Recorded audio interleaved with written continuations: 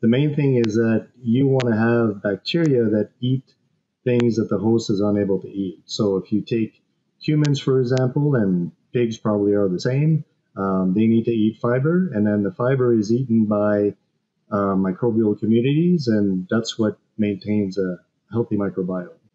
So when, so let's say that you increase the amount of protein, you lower the amount of fiber, then you get differences in populations, and that's when um, you have, let's say, undesirable players um, that proliferate and become more prominent. So that would be a state of dysbiosis.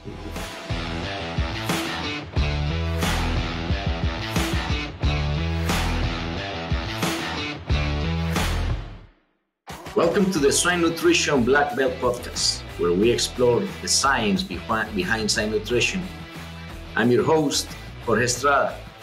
Today in our podcast, we have Dr. Benoit St. Pierre, who is an associate professor at South Dakota University.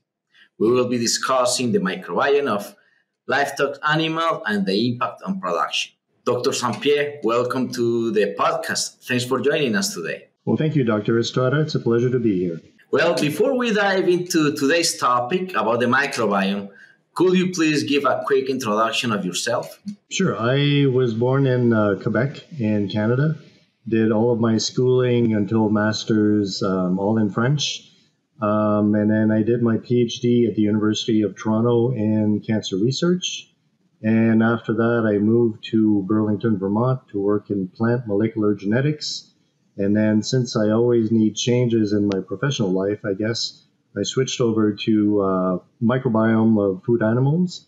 And a few years later, I was able to get a position at South Dakota State University. And here I am 10 years later. Excellent. Well, again, it's, it's great having you today here. So, microbiome, a hot topic, one, one that is hard to digest for a lot of us. So, uh, let's start with something uh, that sounds simple, but it's not. Uh, how do gut microbiomes? How do they work? Well, they um, they consist of uh, metabolic specialists, which means that every species has a specific role or has a limited number of things that it can do, and it's only if they work together that they can thrive as a community. And typically, if we're talking in terms of a healthy microbiome, that would be a community that would eat things that the host is unable to eat. And that's that keeps both parties um, nice and, uh, and, good harmony. Um, and then when things start to go bad is when um, the microbiome starts eating things that the host can also eat. Um, and then that's when you can get um, dysbiosis or disease state. Excellent, and I'd like to circle back a little bit on on on on, on the healthy piece that you just mentioned because you know we widely use like you know gut health and all you know those are terms that are used out there in a lot of the marketing piece, but uh, with an expert like you, maybe we can dig a little bit more into the definition of what a healthy gut microbiome should look like or what does it mean well, it, it's really hard to define because there are a lot of players that we know nothing about.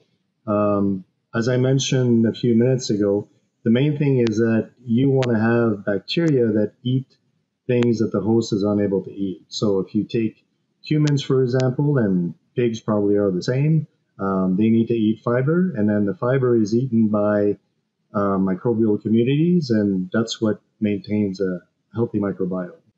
So when, so let's say that you increase the amount of protein, you lower the amount of fiber, then you get differences in populations, and that's when um, you have, let's say, undesirable players um, that proliferate and become more prominent. So that would be a state of dysbiosis, for example.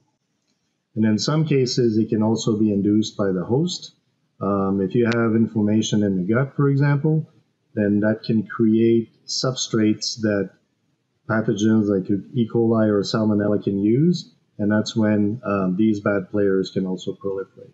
Excellent, and of course, for us that you know would like to learn more about this topic, um, out there there are some misconceptions about you know what what the microbiome is um, how does it show what are some of those common misconceptions about the you know gut microbiomes and, and how the, the gut microbiome work well probably the, the biggest misconception is that all bacteria are created equal um, and that's really prevalent or i would say prominent in the, in the field of probiotics because you have bacteria that are uh, created as probiotics that don't really belong in the environment where they're meant to function. Uh, there's some that are soil bacteria, for example.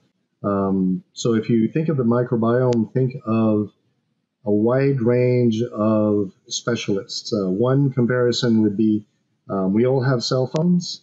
And then we have apps that are in common and we have apps that are different. So you can think of a community of bacteria or microorganisms in, in the microbiome as being many different cell phones that have some common features, but a lot of very specific ones. And it's by having complementary functions that they're able to, to, to, to thrive and accomplish their functions essentially. Excellent. And let me let me take this to maybe to a different level and and you know we're gonna at least this way we we can use your expertise a little bit better in the sense that you have worked with other species as well when it comes down to the microbiome piece and then you know this podcast is about is about swine. What you know i mean with your experience and working with other other species maybe can you point a little bit you know what's the difference of, of, something that is quite interesting in with the other uh, species that you have been working with versus uh, pigs? Probably i well i can't say that there's something specific. I the biggest challenge right now is that um, if we look at the genome of any or most bacterial species particularly in the gut at least half of the genes, we have no idea what their function is. Um, we find common pathways between, let's say, rumen bacteria and bacteria in the, in the hindgut of a pig. And these would be, for example, to metabolize glucose into short chain fatty acids like acetate, propionate, and butyrate. So these are pretty standard. But what probably makes the difference between um, the species in these different environments is are, are, all these other genes that we have no idea what they're doing. And I would say that that's probably the, the biggest challenge that we're facing right now because with the tools that we use, um, we're only able to say, well, it's doing this particular function. And for all the other genes that we don't know what they're doing, we just say, well, they're hypothetical, but then that's not very helpful in trying to understand how the system works. So I would say that that's probably the biggest challenge that we're facing um, for the next little while. Well, we're looking forward to learn more, right? Because this is definitely an area that is catching a lot of attention, and we're hoping to to see how the application of it, you know, works for all of us in the industry. Dr. St. Pierre, we really thank you for joining us today. Well, thank you very much for the invitation, and uh, I'm glad to come back if you ever need to. Of course, everyone, thanks for listening to the Swine Nutrition Black Belt podcast. Don't forget to subscribe and leave us some good comments. Join us in our next episode.